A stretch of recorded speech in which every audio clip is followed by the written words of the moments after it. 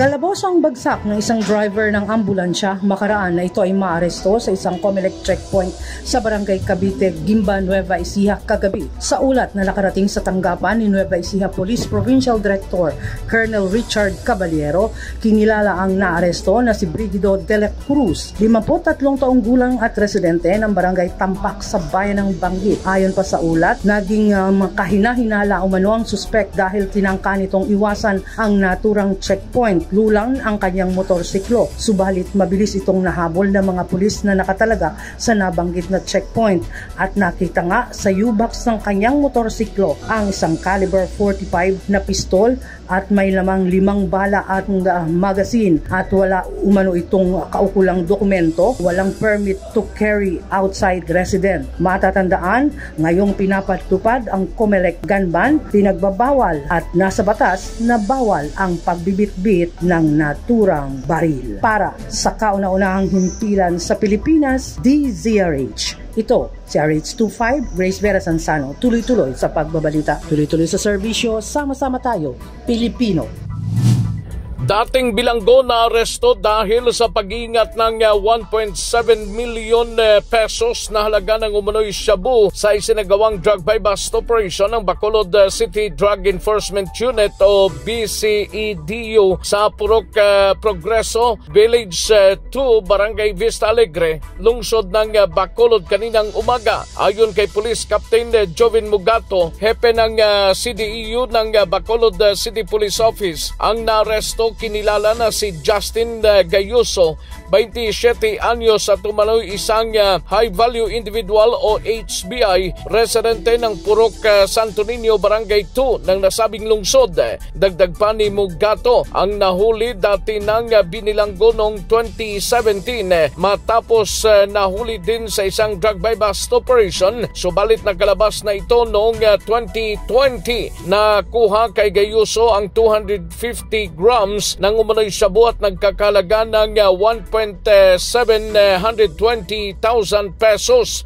Si Gayuso ang detinado sa ngayon sa Police Station 7 ng Bacolod City Police Office.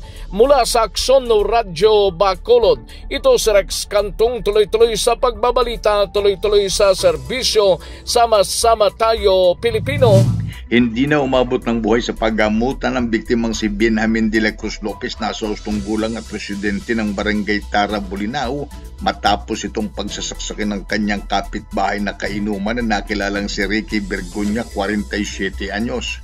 Sa ulat ni Bulinaw Chief of Police Lieutenant Colonel Risty Santos, nagiinuman kamakaluan ng hapon ng biktima at suspek kaharap ang iba pa nilang kaibigan nang magkaroon ng mainitang pagtatalo ang dalawa dala ng kalasingan at bigla na lamang naglabas ng ice pick ang suspek at sunod-sunod na inunday ng saksak ang biktima na tinamaan sa iba't ibang bahagi ng katawan na nadala pa sa hospital pero idineklarang dead on arrival ng attending physician. Agad namang tumakas ang suspek na siya ngayon pinaghahanap ng mga otoridad habang ang inihahanda ang kaukulang kaso laban sa kanya. Mula sa Aksyon Radyo Pangasinan, ito si Freddy Pahardo Ares 38, tuloy-tuloy sa pagbabalita at tuloy-tuloy sa serbisyo, sama-sama tayo, Pilipino. Arestado ang isang lalaki matapos ireklamo ito ng paggagasa ng isang 23 anyos na dalaga na kanyang nakainuman sa barangay San Francisco, Limay Bataan. Sa ulat ni Limay Chief Major Dennis Duran, ang suspect na inaresto na kanyang mga tauhan ay si alias Aman, edad 32 22, may live-in partner na nakatira din ito sa nabanggit na barangay. Naganap umano ang pangahalay sa biktima alas 7.30 ng gabi kamakalawa. Nabatid na ang sospek at ang biktima ay magkaibigang matalik. Nakipag-inuman ito sa sospek